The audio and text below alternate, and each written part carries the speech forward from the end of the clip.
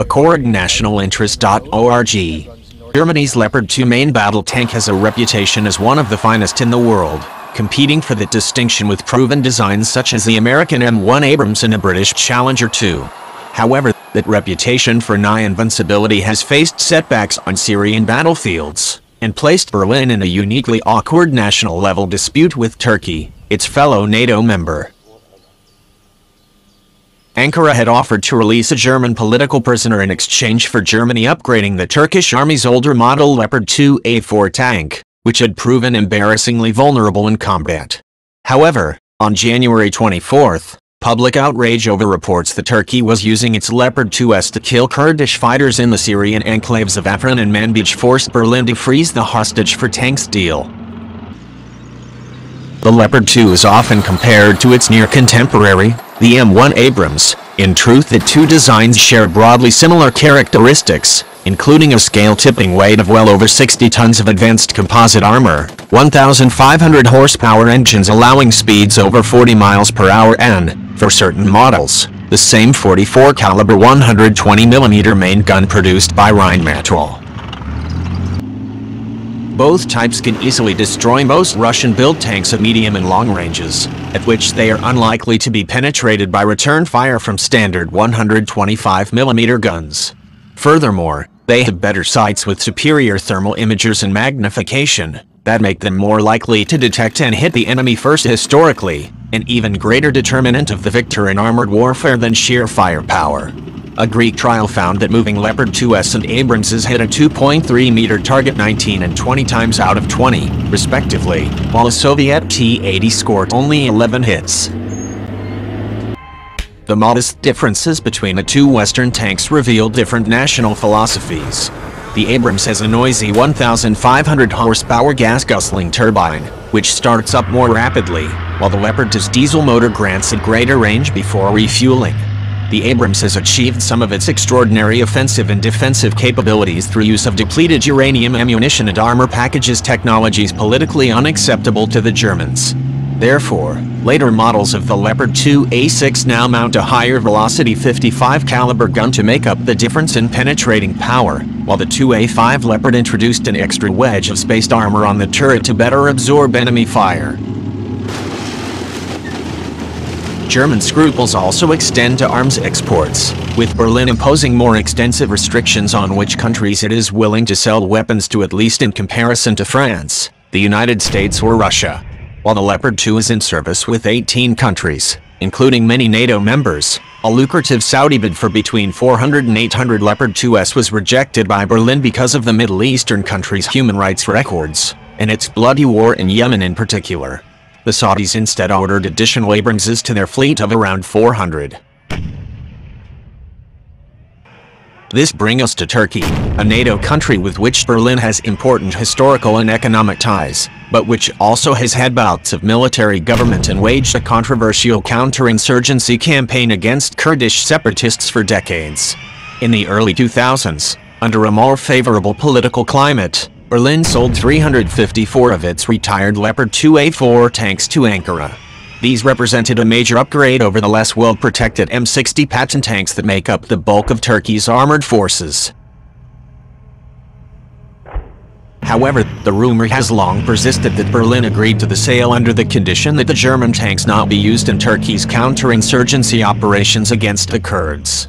Whether such an understanding ever existed is hotly contested, but the fact remains that the Leopard 2 was kept well away from the Kurdish conflict and instead deployed in northern Turkey, opposite Russia. However, in the fall of 2016, Turkish Leopard 2S of the 2nd Armored Brigade finally deployed to the Syrian border to support Operation Euphrates Shield, Turkey's intervention against ISIS. Prior to the Leopard's arrival, Around a dozen Turkish Patton tanks were destroyed by both ISIS and Kurdish missiles. Turkish defense commentators expressed the hope that the tougher Leopard would fare better. The 2A4 model was the last of the Cold War-era Leopard 2S, which were designed to fight in relatively concentrated units in a fast-paced defensive war against Soviet tank columns not to survive IEDs and missiles fired by ambushing insurgents in long-term counterinsurgency campaigns where every single loss was a political issue. The 2A4 retains an older boxy turret configurations which affords less protection from modern anti-tank missiles, especially to the generally more vulnerable rear and side armor, which is a bigger problem in a counterinsurgency environment, where an attack may come from any direction. This was shockingly illustrated in December 2016 when evidence emerged that numerous Leopard 2s had been destroyed in intense fighting over ISIS-held al-Bab fight that Turkish military leaders described as a trauma, according to Der Spiegel. A document published online listed ISIS as apparently having destroyed 10 of the supposedly invincible Leopard 2s, 5 reportedly by anti-tank missiles, 2 by mines or IEDs, 1 to rocket or mortar fire, and the others to more ambiguous causes. These photos confirm the destruction of at least eight. One shows a Leopard 2 apparently knocked out by a suicide VBIED an armored kamikaze truck packed with explosives. Another had its turret blown clean off. Three Leopard wrecks can be seen around the same hospital near Al-Bab, along with several other Turkish armored vehicles. It appears the vehicles were mostly struck the more lightly protected belly and side armor by IEDs and its 7 Métis and at 5 Konkurs anti-tank missiles.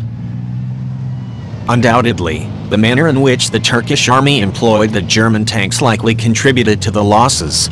Rather than using them in a combined arms force alongside mutually supporting infantry, they were deployed to the rear as long-range fire support weapons while Turkish allied Syrian militias stiffened with Turkish special forces led the assaults.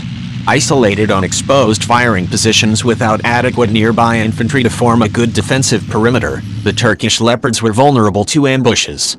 The same poor tactics have led to the loss of numerous Saudi Abrams tanks in Yemen.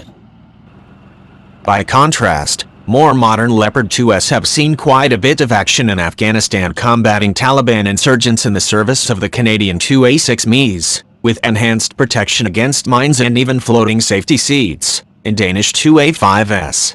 Though a few were damaged by mines, all were put back into service, though a Danish Leopard 2 crew member was mortally injured by an IED attack in 2008. In return, the tanks were praised by field commanders for their mobility and providing accurate and timely fire support during major combat operations in southern Afghanistan losses rather than using them in a combined arms force alongside mutually supporting infantry. They were deployed to the rear as long-range fire support weapons while Turkish allied Syrian militias stiffened with Turkish special forces led the assaults. Isolated on exposed firing positions without adequate nearby infantry to form a good defensive perimeter, the Turkish Leopards were vulnerable to ambushes. The same poor tactics have led to the loss of numerous Saudi Abrams tanks in Yemen.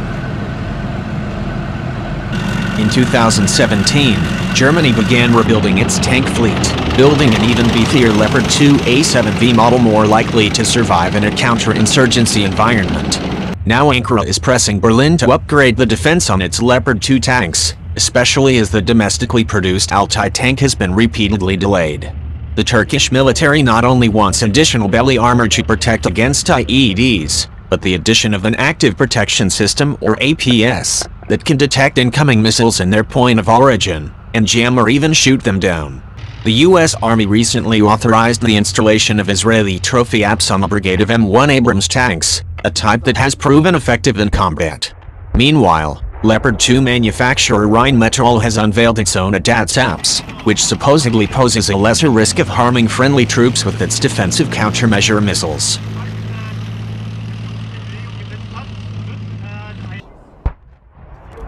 that's